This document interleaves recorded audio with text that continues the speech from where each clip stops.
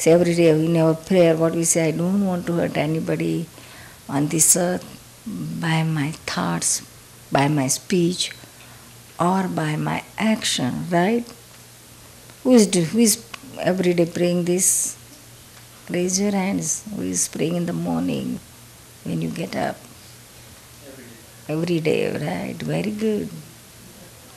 Don't get shy. If you are doing, honestly say yes. And you are not doing, then honestly say no. This is very important.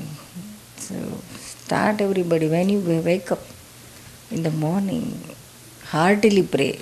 I want I don't want to hurt anybody on this earth by my thoughts, speech, or action. This is very simple. Only say five times heartily. That's it.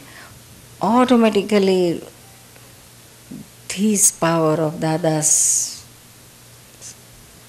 sentence will work and you automatically will find one day that you, you won't hurt by your thought, speech or action. So simple way of achieving a great thing in the life. So why one should miss it? One should not miss it. So start saying, saying this sentence every day in the morning, five times one day. Remember Dada and just say five times. Dada, Dada says, I, all responsibility I will take if you say only five times a day, every day morning.